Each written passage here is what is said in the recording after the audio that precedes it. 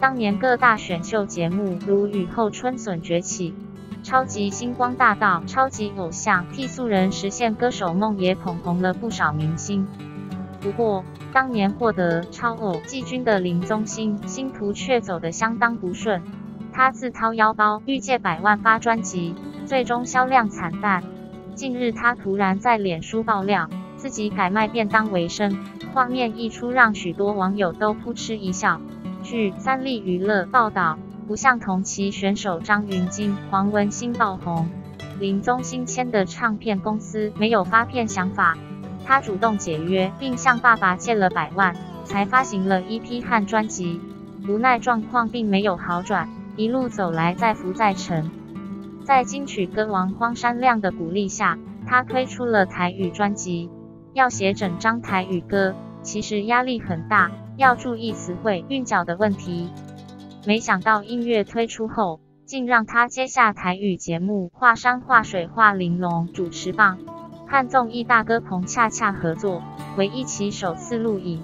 他根本不敢接话，还向彭恰恰疯狂道歉。他也感谢彭恰恰愿意给机会。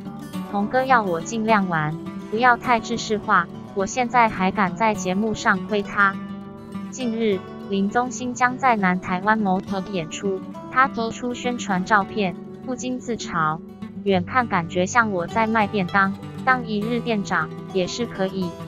照片里海报一边是便当广告，一边是宣传演出，他干脆顺势利用，对众网友喊话：中午时段推出精致便当，附近上班的朋友可前往用餐哦，狂想便当吧，每月一次，蓝色狂想演唱。不少网友都买单，逗趣回应：“店长您好，肖像被拿出来招生意，真是高招。宗心严选，真心推荐，真的有主厨脸，说服力很强呀。”在台上热情开场，充满摇滚魂的林宗心，私下也爱骑重机。他坦言，未婚前有两台哈雷，三台伟士牌，现在只留了两台过过瘾。每周。他都会抽空骑车外出放风，感谢老婆给予极大自由。我平常不抽烟，也不喝酒，玩车是唯一的舒压方式。婚前较追求速度感，婚后则有顾虑，认为一切以安全为优先。